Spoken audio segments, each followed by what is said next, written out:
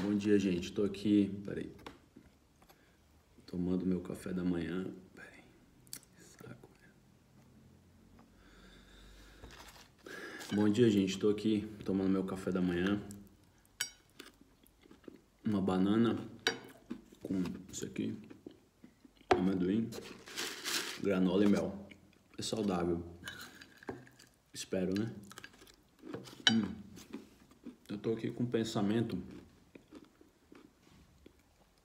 sobre razão e sobre os limites. Enfim, vai ser uma viagem isso aqui, tá? Hum, eu tava pensando que sim, nós, seres humanos, nós somos limitados ao nosso conhecimento, o que o, que o nosso conhecimento é capaz de interpretar de entender acerca de tudo. A princípio, nossos limites principais são os nossos sentidos. Os nossos sentidos são instrumentos que nos dão uma percepção do mundo. No entanto, essa percepção ela é bem limitada, né? A nossa visão não consegue perceber todos os espectros de luz e de cores existentes no universo.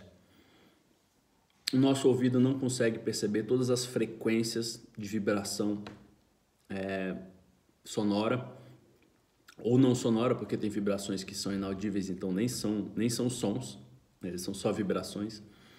É, nosso tato, a gente está limitado, é uma sensação assim útil, mas ela é bem limitada, você não consegue. Enfim, a gente tem limites muito claros da nossa percepção. Apesar disso, é, ao longo da história humana, a gente veio desenvolvendo esses limites, ampliando isso absurdamente assim, e hoje a gente cria, a gente criou instrumentos para que os nossos limites é, extrapolassem é, o que a gente é capaz de enxergar agora. Então, por exemplo, é, no passado você é, entender que a Terra girava em torno do Sol e não o Sol girava em torno da Terra era uma ofensa, porque a gente não tinha conhecimento disso, mas a, a, o que a nossa capacidade de ver dizia é que o Sol girava em torno da gente. E isso era uma lei do universo naquela época. Era o que dentro dos limites racionais era compreendido e era o aceitável. E beleza, a gente aceita isso. E isso é lei. E é assim que é. E se alguém disser o contrário, vai morrer. Porque ofende alguns. E aí um dia alguém disse, alguém com instrumentos, com, com uma capacidade de enxergar além, não só de enxergar, mas de criar formas de enxergar além, né? É, através de ferramentas, através de cálculos, de estudos que estão tudo dentro da razão, ele conseguiu entender e ampliar os nossos horizontes de que existe é, algo a mais, a, a Terra que gira em torno do Sol e não o contrário. E aí, enfim, foi um absurdo. Hoje em dia, sei lá, a gente tem os computadores. O computador, tem uma frase do Steve Jobs que ele falava que os computadores são bicicletas da mente. É, eles, cara, se você for parar para pensar no que você consegue fazer com um computador à sua disposição, não é que o computador seja superior à sua mente. O computador é uma criação da mente humana, é uma criação do cérebro humano. O cérebro é somente a máquina mais complexa de que a gente tem notícia. É, isso é uma opinião, inclusive, do cérebro sobre ele mesmo, mas ele é. Não existe nenhuma máquina que você possa dizer que existe mais complexa do que o cérebro humano. O cérebro humano é é o computador mais avançado que existe, ah, segundo o nosso conhecimento, né? E ele criou o computador que é capaz de ampliar o potencial do próprio cérebro. Olha que doido, a gente consegue ir muito longe graças ao, a um computador, porque a gente consegue armazenar coisas, a gente consegue fazer cálculos, a gente consegue escrever e reconsultar exatamente do jeito que estava. Ele amplia a nossa capacidade, é uma bicicleta para a nossa mente. Beleza, dito isso, a razão ainda é essa bolha que nos rodeia. A gente está limitado por a razão, pela razão. Por mais que ao longo da história a gente tenha ampliado essa bolha, a gente tenha ampliado esses limites e a nossa capacidade de enxergar além através não só da ciência, mas de, de acessórios que nos permitem ver além. Ainda assim, tudo o que vem de fora dessa bolha é irracional, porque não tem razão que compreenda aquilo. Tudo que vem de fora da bolha da razão não faz sentido nenhum. É um conceito alienígena, é um conceito que é complexo demais para nossa mente e a nossa tendência é negar esse conceito que veio de fora da nossa bolha. E eu acho que seria muita arrogância eu acreditar que a bolha da minha razão ela é suficiente. Guarda bem isso. É muito arrogante acreditar que a bolha da minha razão é suficiente para compreender o mundo e tudo que está nele, que tudo está fora dele. Quando você tem essa concepção, você nunca mais vai conseguir ser cético novamente, porque a nossa bolha ela é tão limitada.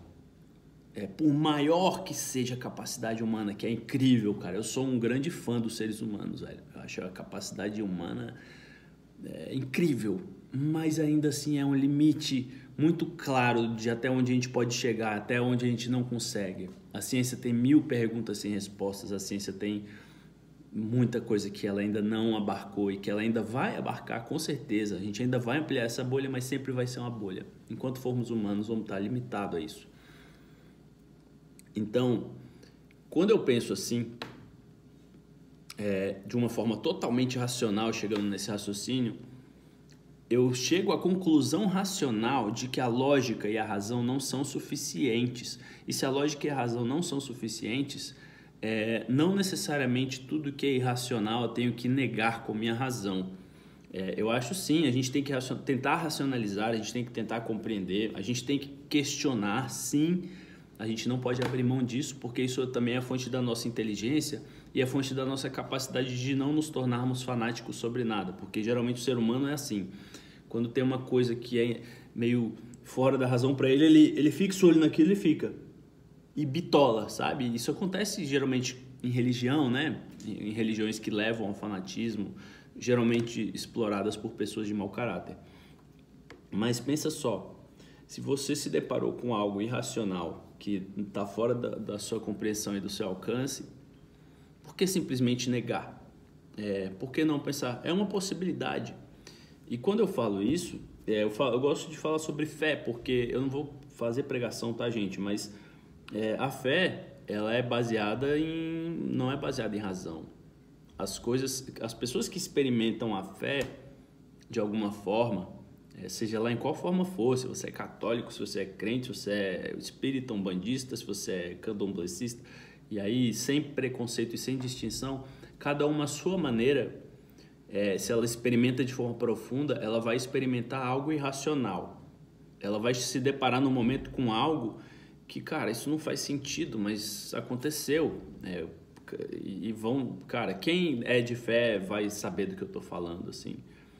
E se você não sabe, tudo bem também. Se você nunca vivenciou, não tem nada de errado. Você não é melhor, né, nem é pior do que ninguém, porque você não vivenciou algo assim. Não estou querendo classificar, categorizar nada.